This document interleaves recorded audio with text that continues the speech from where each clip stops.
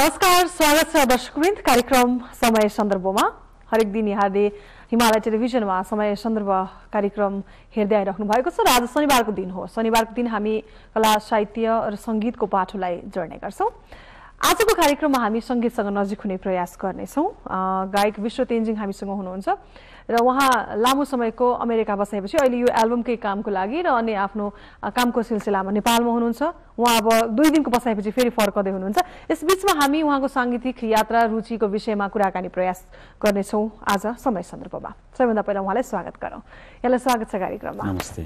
हजुर। अब तपाईँको एल्बम मेरो हातमा छ। पछिल्लो भनौँ हामीसँग प्राप्त एल्बम मनै त हो। यो सङ्गीतमा पनि मन जोडिएको छ तपाईँको होइन? अलिकति बताइदिनुहोस् न साङ्गीतिक यात्रा कसरी सङ्गीतले तपाईँलाई जोड्यो? यो चाहिँ सुरु सुरुमा उता नेपाली गीत चाहिँ मलाई पहिल्यैदेखि मन पर्थ्यो। तर विदेशमा बस्दा बस्दा झन् नेपालको बढी माया लाग्दो रहेछ। त्यही कारणले चाहिँ अनि यो यो फिल्डसँग चाहिँ अलि जोडियो अनि म्युजिकतिर लागि। हजुर कति भयो तपाईँको यो सङ्गीतसँगको सम्बन्ध? म्युजिकमा लागेको टेक्निकली लाइक दस वर्ष जति भयो। दस वर्ष भइसक्यो है। तपाईँ हामीले सुनेको तपाईँको परिवारमा पनि अलिकति साङ्गीतिक माहौलै थियो तर तपाईँ नेपाल बसिन्जेल चाहिँ सङ्गीतमा खासै तपाईँको रुचि भएन। जब तपाईँ बाहिर जानुभयो त्यसपछि तपाईँलाई सङ्गीतसँग जोडिन मन लाग्यो। सही हो यो कुरा। हजुर सही। सही हो अलिकति बताइदिनुहोस् न के हो सङ्गीतसँगको तपाईँको परिवारको सम्बन्ध अनि तपाईँ बाहिर गएपछि सङ्गीतसँग जोडिनुको कुरा? घरमा चाहिँ अब मेरो अब भनौँ न प्यारेन्ट्सहरू उहाँहरू चाहिँ म्युजिकमै हुनुहुन्छ इन्ट्रेस्टेड हुनुहुन्छ। अनि उहाँले उहाँले त्यो म्युजिक गर्दा गर्दा चाहिँ मतलब सुनिरहन्थेँ देखिरहन्थेँ। तर बाहिर गएर चाहिँ झन् बढी आफ्नै गीत सङ्गीत झन् बढी मन पर्यो र अनि यो फिल्डमा म चाहिँ प्रवेश भएको लागेको। जस्तो अब रुचि नभएपछि गाउन सक्छु र भन्ने पनि हुनसक्छ नि आफूलाई। कसले भन्थ्यो विश्व तिम्रो स्वर राम्रो छ गाउन सक्छौ भनेर त कसैले त भन्यो होला नि। अनि अनि तपाईँले एल्बम निकाल्नु भयो होला। हजुर। थुप्रै छन् हाम्रो दाई भाइहरू उता उहाँले चाहिँ म चाहिँ सुरु सुरुमा यो डिजे गर्ने गर्थ्यो कि। अनि डिजे गर्दा गर्दा अनि बिबिचमा ब्रेक टाइममा सानतिनो गीतहरू पनि कोही कोही बेला गाइन्थ्यो। अनि त्यो गाउँदाखेरि चाहिँ अब अरूहरूले सुन्दाखेरि चाहिँ अब के उहाँलाई चाहिँ नेक्स्ट टाइम कुनै प्रोग्राममा प्रोग्राममा बोलाउनुपर्छ भन्ने कुराहरू हुन्थ्यो क्या। अनि त्यसमा चाहिँ गएर मैले कतिवटा गीत गाएको पनि थिएँ। सुरुमा फर्स्ट गाना चाहिँ मैले स्टेजमा नेपाली गाएको भनेको हाम्रो ओम विक्रम विष्ट दाईको म मौतामा गएको थिएँ। र सबै भनौँ न हाम्रो नेपाली दाजुभाइहरू सबले मन पराउनु भयो अनि त्यहाँदेखि चाहिँ सुरु भयो। यो कुरा ओम दाइलाई पनि थाहा छ त्यो गीत नै अब हुन तपाईँको आफ्नो एल्बम छ। अर्को तपाईँ अर्को एल्बमको नयाँ एल्बमको तयारीमा पनि हुनुहुन्छ। तर सबैलाई गाएर चाहिँ तपाईँले गाएको गीत राम्रो भनेको चाहिँ तपाईँले ओम विक्रम विष्टको गीतबाट भन्नुभयो। त्यो थोरै हामीलाई सुनाइदिनुहोस् न त आज। अहिले नै? हजुर। ए ओके।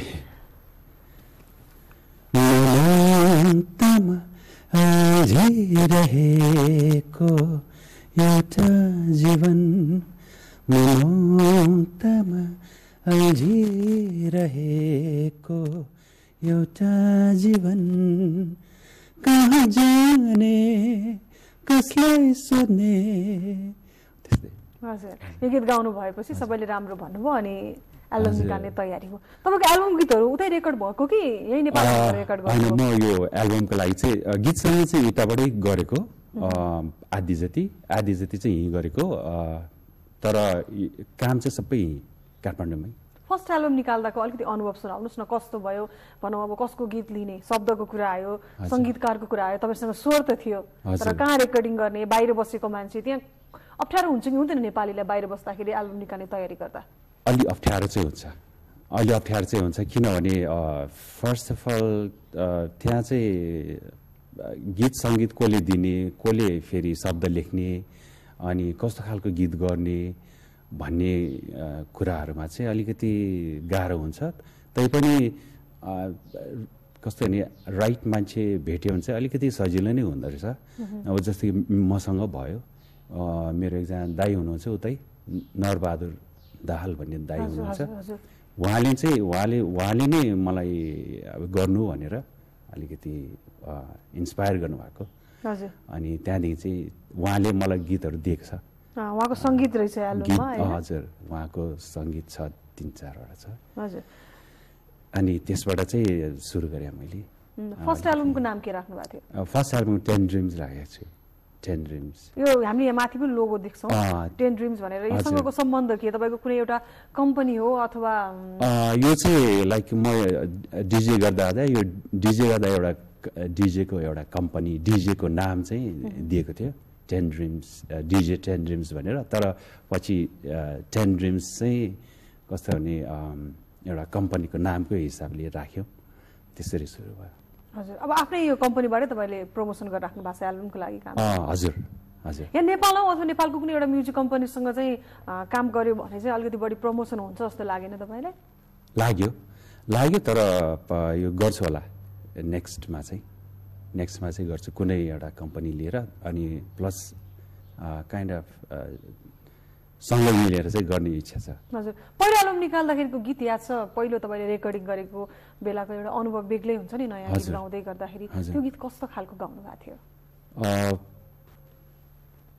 लोक पप टाइपको लोक पप टाइपको थियो। र अनि प्रायः त म पप गाना नै गाउँछु। त्यस्तै त्यस्तै खालको गानाहरू छन्। अब नेक्स्ट एल्बम निकाल्दा तपाईँको चौथो एल्बम हुन्छ। चौथा हुन्छ। हजुर। हजुर। यो कन्टिन्यू एल्बम चाहिँ निकालिराख्नु भएको छ होइन? गीतहरू पनि तयार गरिराख्नु भएको छ। हामीले देखेका छौँ यो एल्बममा तपाईँको तेह्रवटा गीत छ है? अहिले त कस्तो चलन भइसक्यो भने एल्बमको बिक्री हुँदैन। त्यसरी दुईवटा तिनवटा मात्र गीत राखेर पनि एल्बम निकाल्ने कलाकारहरूले ताकि नयाँ आफ्नो क्रिएसन चाहिँ आफ्ना दर्शक श्रोताहरू माझ लैजान सकौँ भन्ने हुन्छ। तपाईँले एकैचोटि यति धेरै गीत हाल्नु भएको छ। कारण चाहिँ के हो? कारण चाहिँ के हो भने अब अलिकति घरिघरि कस्तो भने घरिघरि नेपाल आउनु आउनु पर्ने हुन्छ नि त हरेक एल्बमको लागि। तर यो चाहिँ खास कारण चाहिँ के भने यो यो दुई वर्षको प्रोजेक्ट हो। दुईवटा एल्बम एउटैमा मर्ज गरेर मतलब कम्बाइन गरेर हाल्ने। यसको कारण चाहिँ एउटा यो विमोचन गरेर यसको जति पनि फन्ड हुन्छ त्यो चाहिँ डोनेसन गर्ने हिसाबले चाहिँ गरेको। एउटा कुनै पनि एउटा सोसियल कजको लागि त्यो एल्बमबाट हुने इन्कम तपाईँ खर्च गर्दै हुनुहुन्छ।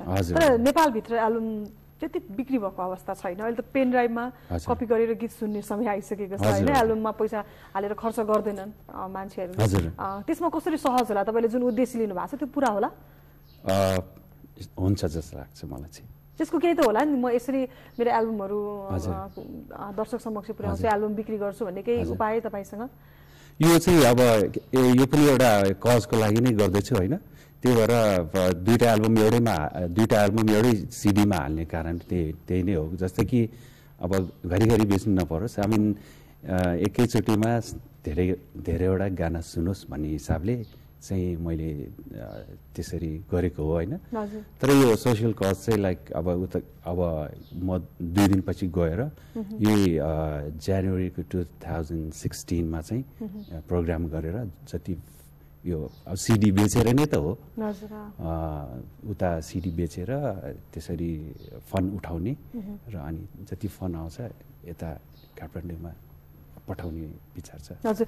थुप्रै कलाकारहरू नियोग गइराख्नु भएको हुन्छ प्रोग्रामको सिलसिलामा। त्यहाँ बाहिर धेरै प्रोग्राम हुन्छ र कलाकारहरू अहिले पछिल्लो समय भनेको बाँच्ने आदर अथवा उहाँहरूले एल्बम निकाल्नको लागि खर्च जुटाउने भनेकै बाहिर हुने प्रोग्रामहरूबाट हो। तपाईँ त्यहीँ बस्ने नेपाली कलाकारहरूले कति कति प्रोग्रामहरूमा सहभागी बन्न पाउनुहुन्छ? कस्तो छ अवसर?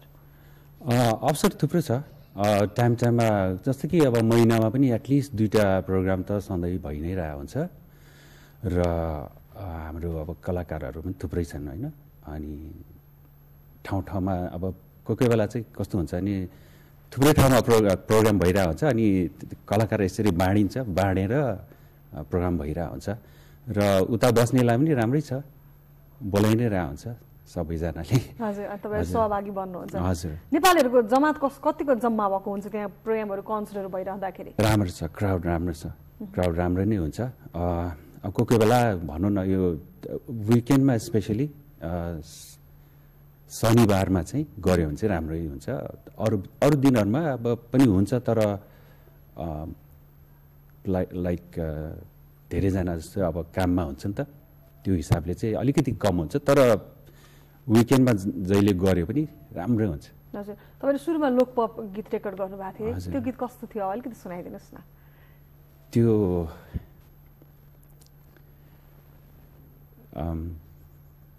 झुल्केरी भइ बसु कि म अलिक बेसी मैले। त्यो धेरै भयो गरेको। यस्तै खालको गाना थियो। यो गाना पनि हाम्रो त्यो मैले भनिनँ कि हाम्रो एकजना दाई हुनुहुन्छ उतै। उहाँ सङ्गीतकार हो। उहाँले दिनुभएको। र त्यो त्यो लगायत अरू अरू गाना हालेर गरेको थिएँ। अहिले लिरिक्स अलिकति भुलेँ मैले चाहिँ। हजुर यसमा तेह्रवटा गीत छ तपाईँसँग दुइटा एल्बमलाई तपाईँले एकै ठाउँमा मर्ज गरेर एल्बम निकाल्नु भएको छ। ताकि सबै गीत सबै श्रोता सुन्ने दर्शकहरूसम्म पुगोस् भनेर। कस्तो कस्तो गीतहरू राख्नु भएको छ यसमा? प्राय यसमा मैले सबै गाना गाउनु ट्राई नै गरिरहेको छु यसमा। यसमा एउटा गजल पनि छ होइन। अनि प्राय पपहरू छ गाना। अनि आधुनिक खालको गाना पनि छ। एउटा डिस्को टाइम भन्ने गीत डिस्को पनि छ। हजुर। नचाउने प्रयास पनि गर्नु यो चाहिँ यो चाहिँ कस्तो नि म अब आफै डिजे भएको हुनाले चाहिँ अलि एउटा एउटा दुइटा चाहिँ डिस्को गाना पनि चाहिन्छ जस्तो फिल भयो मलाई। अनि यो डिस्को गाना पनि हालेको। यो डिस्को गाना चाहिँ हाम्रो राम श्रेष्ठ दाई उहाँ र मनोजजीको सङ्गीतमा गरेको राम्रो छ यो गाना पनि। जस यो क्लबमा चाहिँ एकदम जम्छ गाना। यो कलाकारिता रोज्नुभयो भनौँ न सङ्गीत रोज्नुभयो हुन त आफ्नो प्रोफेसन वाइज तपाईँको आफ्नो काम पनि गर्नुहुन्छ बाहिर बसेर।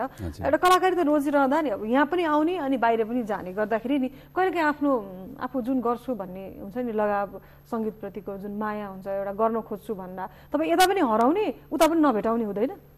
हुँदैन हुँदैन। अब यता खोज्दाखेरि तपाईँलाई भेटिँदैन। आज तपाईँ संजोग पर्नुभयो दुई दिनपछि तपाईँ फर्किँदै हुनुहुन्छ होइन? तपाईँलाई यहाँ खोजी पनि भेटिँदैन तपाईँको एल्बम त छ। तर यसको प्रमोसनका कुराहरू पनि रोकिन्छ तपाईँ जाने बित्तिकै। त्यहाँ पनि त्यति ठुलो जमातमा नेपालीहरू बिचमा तपाईँलाई नभेटिने पो हो कि? होइन उता चाहिँ भेटिरहन्छ। उता चाहिँ अब जसलाई सोधेन थाहा नै हुन्छ। उता चाहिँ प्रब्लम छैन तर यहाँ चाहिँ अब भनौँ न कसैले भन्नु साथी अहिले खोज्नु परेमा अलिकति गाह्रो हुन्छ किन म उता हुन्छु नि? तर पनि कन्ट्याक्टमा त भइहाल्छ। तर लाइक मासमा चाहिँ अलिक गाह्रै हुन्छ। कहिले यहीँ बसौँ अनि त्यसपछि विश्व तेन्जिङलाई चाहिँ दर्शकहरूले श्रोताहरूले के ल्याउँदैछस् भनेर खोजोस् भनेर मिहिनेत गरेर यहीँ बसेर अलिकति समय खर्चेर चाहिँ आफूलाई स्थापित गरौँ भन्ने लोभ लाग्छ कि लाग्दैन? लाग्छ। लाग्छ। त्यस्तो सोचे पनि छ कोही बेला परिवार पुरै साङ्गीतिक तपाईँको होइन सङ्गीतमा रुचि राख्ने। तपाईँले यसरी एल्बम निकाल्नु पहिला खासै रुचि थिएन तपाईँ बाहिर गएपछि रुचि आउँदा। परिवारले के भन्नुहुन्छ तपाईँको सङ्गीतप्रतिको रुचिलाई? उहाँहरू खुसी नै हुनुहुन्छ। ज जुन चाहिँ मैले काम गरिरहेको छु अहिले उहाँहरू खुसी नै हुन्छ किनभने पहिला इन्ट्रेस्ट दिएको थिएन। अब अहिले चाहिँ अब यो फिल्डमा लागेपछि चाहिँ एउटा आफूमा भित्रमा पनि एउटा कस्तो नि इन्ट्रेस्ट हुँदो रहेछ। इन्ट्रेस्ट गर्दै गएपछि फेरि अर्को गरौँ अर्को गरौँ जस्तो पनि लाग्छ। हजुर। अहिले त गीत सुन्ने भन्दा पनि हामीलाई लाग्छ हेर्ने भयो जस्तो कि? जस्तो एल्बम निकालेपछि त्यो गीतको भिडियो बनेपछि हेर्ने भन्नेमा गयो। कस्तो लाग्छ? गीत सुन्ने हो कि हेर्ने हो? अलिकति यसको डिफिनेसन फरक भएन? हजुर। खास चाहिँ गीत त सुन्ने नै हो तर अहिले चाहिँ नहेरी हुँदैन। अनि त्यसको लागि भिडियो चाहिँ बनाउनु पर्ने हुँदो रहेछ होइन अब यो तेह्रवटा गीत छ तेह्रवटा गीतको भिडियो बनाउनु पनि त सम्भव नहोला। हुँदैन। त्यो हुँदैन तर बिस्तारै बिस्तारै चाहिँ गर्नु सकिन्छ। राम्रो राम्रो बेस्ट बेस्ट छानेर चाहिँ गर्नु सकिन्छ। जस्तो अहिलेसम्म कतिवटा तपाईँको गीतको भिडियो बनिसक्यो? अहिलेसम्म अब एउटा गर्दैछु पाँचवटा हुन्छ। पाँचवटा जति हुन्छ। त्यति नै। उतै बाहिर तपाईँको गीतहरू भिडियोहरू छायाङ्कन भएको छ? बाहिर एउटा चाहिँ बाहिर गरे दुइटा बाहिर गरेको छु। एउटा चाहिँ अझै एडिटिङ भइरहेछ। बाहिर नै गरेको उतै गरेको। त्यो कस्तो हुन्छ? त्यो भिडियो बनाउँदाखेरिको जस्तो तपाईँले अब गीत रेकर्डिङ गर्नुभयो होइन। प्रायः तपाईँ यहाँ आएर पनि गीत रेकर्डिङ गर्नुभएको छ। उता भिडियो बनाउनुको लागि चाहिँ कतिको गाह्रो छ? भनौँ लोकेसन वाइजको कुरा होला। अनि कसले डाइरेक्सन गर्छ भन्ने कुरा होला। कतिको सहज छ अथवा अप्ठ्यारो पर्छ? अप्ठ्यारो लाइक मैले अघि नै भने जस्तै राइट पर्सन चाहिँ छान्नु सक्यो भने काम गर्नु अलिक सजिलो हुँदो रहेछ नभए चाहिँ अब एक्सपिरियन्स छैन त्यतिकै गयो गऱ्यो भने चाहिँ जुनै फिल्ममा पनि गाह्रो नै हुँदो रहेछ अब यो भिडियोमा पनि मैले राइट राइट मान्छे नै पाएको छु र सजिलो नै भयो एक हिसाबले र राम्रो पनि भयो जस्तो लाग्छ मलाई। हजुर। तपाईँको यो भिडियो जुन हामीसँग छ एउटा भिडियो हिजो भर्खर मात्र पनि हामीले टेलिभिजनबाट रिलिज गर्यो। तपाईँको टाढा धेरै टाढा गीत चाहिँ होइन? बबिराज घतानीको यसमा शब्द र सङ्गीत रहेछ। उतै तपाईँले भिडियो छायाङ्कन गर्नुभएको हामीले हेरेका थियौँ भिडियो। त्यो कस्तो रह्यो त्यो बेलाको सुटिङको दौरान? कसले बनाउनु भयो भिडियो? भिडियो भिडियोग्राफर चाहिँ हाम्रो उतैकै मोक्तानज्यू हुनुहुन्छ मोक्तान दाई। र यसको डाइरेक्सन चाहिँ प्रसन्न पौडेलज्यूले गर्नुभएको। अनि गीत सङ्गीत चाहिँ बबी राजले गर्नुभएको अनि त्यही हिसाबले। प्रसन्नजीले यहाँ पनि थुप्रै भिडियो बनाउनु भएको उहाँको गीतहरूले निकै चर्चा पाएको उहाँसँगै काम गर्ने मौका तपाईँ बाहिर बस्दा पनि पाउनुभयो। त्यो हिसाबले पनि तपाईँलाई सहज भयो। हजुर हजुर। अब म्युजिकमै लागेर यस्तो गर्छु भन्ने कुनै योजना तपाईँले गर्नै नपाएको त्यस्तो केही छ? सङ्गीतमै लागेर गर्छु भन्ने कुनै चाह? अलिक बुझिनँ।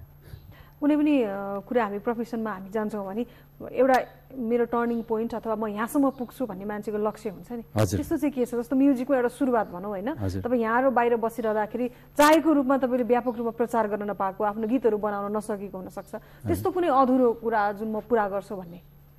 अधुरो कुरा भनेको खास सहज जस्तो लाग्दैन। जे जति गर्नुपर्ने सबै त गरिसक्यो। गरि नै सकेँ। तर अझै पनि फ्युचरमा अझै पनि अझै यो गीत सङ्गीत नेपाली गीत सङ्गीतमा अझै बढी केही गर्छु भन्ने चाहिँ इच्छा छ। हजुर। अब तपाईँले आफ्नै एल्बममा गाउनुभएको गीतहरू मध्येबाट कुनै एउटा सुनाइदिनुहोस् न। हुन्छ। त्यही रिलिज गरेको गाना नै हुन्छ। टाढा धेरै टाढा नजो प्रिय.